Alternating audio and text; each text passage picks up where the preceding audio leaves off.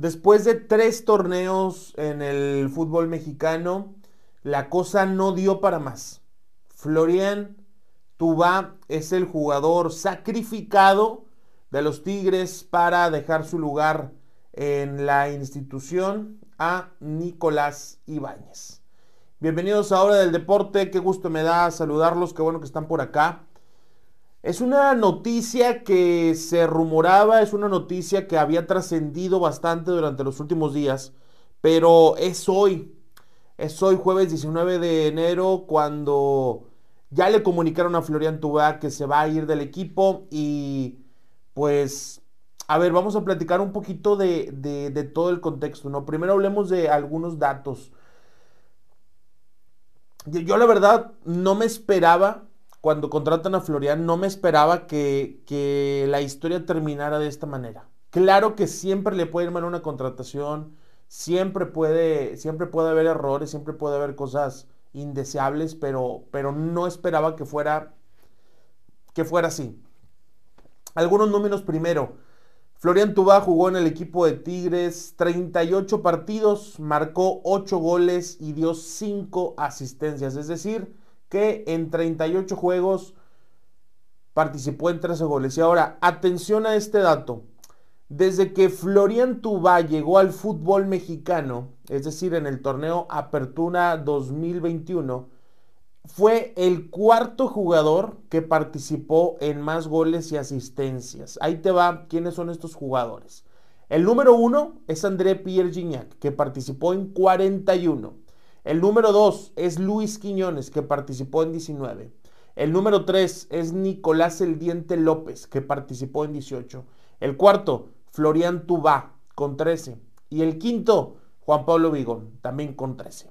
Es decir, Florian Tubá, que estaba ganando anualmente 5 millones de dólares, que era el jugador mejor pagado de toda la liga y de la historia del fútbol mexicano y el futbolista más caro de México, generó lo mismo que Juan Pablo Vigón, que en su momento llegó como muchos para un desconocido. El rendimiento de Florian Tubá definitivamente en Tigres fue bajo. Estuvo muy, muy por debajo de lo que esperábamos de, de él. Y ahora también hay, hay una cosa que decir, ¿no? Cuando se decide contratar a Florian Tubá para que defienda los colores de Tigres, cuando existe ese contacto entre André Pierre Gignac y el jugador, y estaba la oferta de Italia, de Alemania, de España, de Italia también y de Francia para que continuara. Tigres lo convence, obviamente con un proyecto deportivo donde se pensaba que él podía ser el sustituto a nivel figura de André Pierre Gignac. En algunos programas eh, Gignac dijo que, que, lo apoyaba totalmente, que era su sucesor, que era el príncipe, pero termina saliendo mal. Esto yo no lo catalogo como un error de la directiva, ni como un error de Miguel Herrera, ni como un error de Diego Coca. ¿Qué fue lo que pasó? Esto es un error enteramente de Florian Tubá, de su rendimiento de que no se adaptó al tema del calor, al tema físico, y que de pronto sí veíamos en él picos muy altos de rendimiento. Veíamos en él un nivel destacado durante algunos momentos. Pero ¿qué pasaba? Difícilmente te daba buenos partidos de 90 minutos. La segunda temporada de Florian Tubá fue buena, tuvo buenos números, registró bien. El tema es que no lo hizo ni en la primera ni en la tercera, solamente a la mitad de su paso por Tigres. Y cuando estás viendo que esta institución se está renovando, está reforzándose con jugadores como Fernando Gorrerán, como Nicolás Ibáñez, pues la verdad por un tema de rendimiento, Florian Tubá era el que tenía que salir. Era el que tenía que irse por un tema de rendimiento. Esta salida de Florian Tubá de Tigres a mí me parece una decisión valiente de la directiva después de que fueron estos mismos, eh, el presidente Mauricio Culebro, el director deportivo Antonio Sancho, quienes apostaron muy fuerte por este jugador francés, pero también son los que deben tomar la decisión de que ya no daba para más. Florian fue un acierto en la contratación. Florian hicieron todo lo correcto para traerlo. Un jugador a buena edad, con buena trayectoria y de buen nivel, pero que al llegar a México su rendimiento fue malo. Una cosa es la contratación y otra cosa es el fichaje. Perdón, ahí les voy otra vez. Una cosa es la contratación y otra cosa es el rendimiento. Son situaciones que se van a medir por separado. Puede haber contrataciones de las cuales no se espere tanto y les vaya de una manera extraordinaria. Y hay contrataciones como Florian Tuba, del cual se espera muchísimo y termina dándote casi nada. Yo creo que el mayor recuerdo de Florian va a ser ese golazo en el clásico regiomontano, el gol casi de media cancha Esteban Andrada, que si se entró, que si tiró, lo que gusten y manden, pero fue un pinche golazo. Y con esa se van a tener que quedar.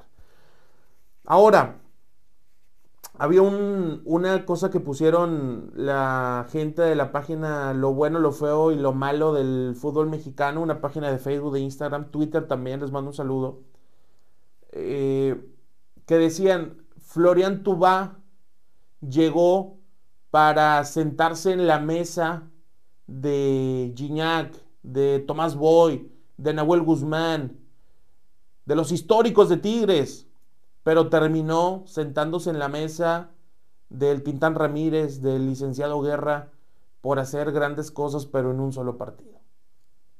Esa es la realidad. Florian llegó y decepcionó.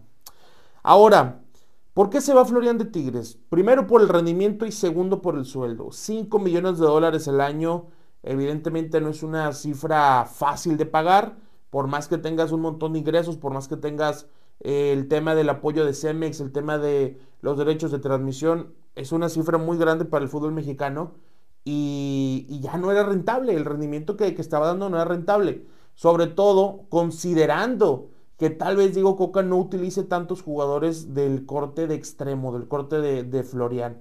Va a ser muy importante en los próximos días, de las próximas horas, saber cuál es su destino, saber en qué condiciones se va, si será una venta o si se va a ir prestado o qué es lo que va a pasar con este jugador que terminó siendo una auténtica, auténtica decepción.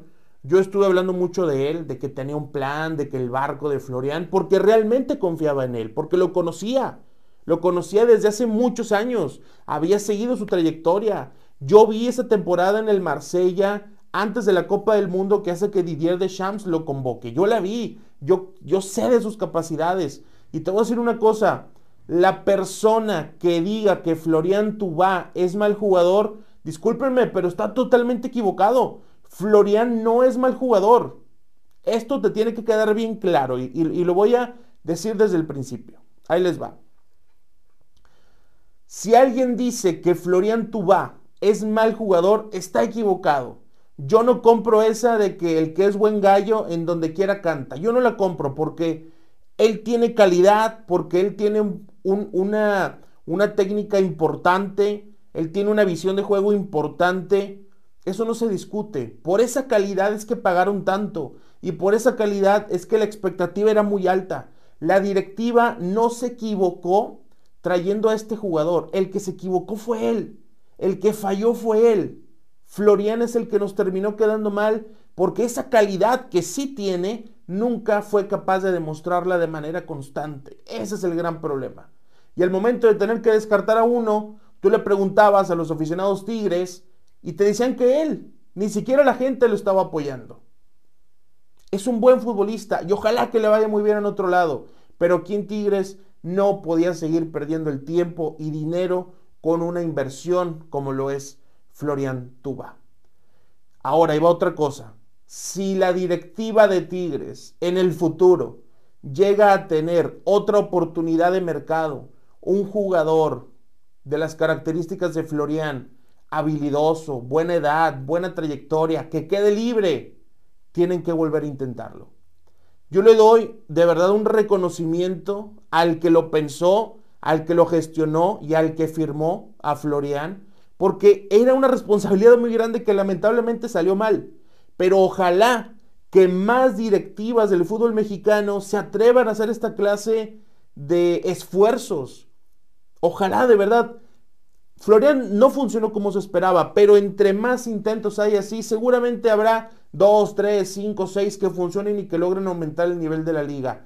Un acierto de la directiva haberlo contratado, un error de Florian Tubá que no haya funcionado y de verdad, qué bueno que lo sacan ahora, qué bueno que se va a tiempo y no tener que estar esperando como lo hizo Rayados con Vincent Janssen, esperando que diera y esperando que diera y esperando que diera y que ahora el que sustituye a Floriano, el que toma su lugar, pues va a ser eh, Nico Ibáñez, un jugador que esperemos que también le vaya de buena manera. Como conclusión, qué lástima que se tiene que ir Florian de esta manera. Es un gran jugador, pero en Tigres no rindió. Por el tema físico, por el tema del calor, y de verdad es una pena porque había mucha gente que confiamos en él. André Pierre Gignac fue el principal que confió muchísimo en él y lo decía abiertamente, cómo olvidar aquella entrevista con Franco Escamilla, pero su rendimiento siempre estuvo muy por debajo de lo esperado. La directiva en aquel 2021 que hicieron todos los esfuerzos, nunca se imaginaron que iba a terminar así de mal la historia de Florian en Tigres. Ojalá que en algún momento llegue otro futbolista de ese nivel, de esa capacidad y que rinda. Porque Florian lamentablemente no fue. Esperábamos que se sentara junto a André Pierre Gignac, junto a Nahuel Guzmán, en la mesa de las grandes estrellas y terminó quedándose en la mesa de los jugadores que hicieron gol en un clásico y se acabó su historia. Lamentablemente. Gracias por ver este video en Obra del Deporte. Te invito a que te suscribas a nuestro canal. Hasta la próxima. Y señores, se hundió. Se hundió el barco de Florian Tuba.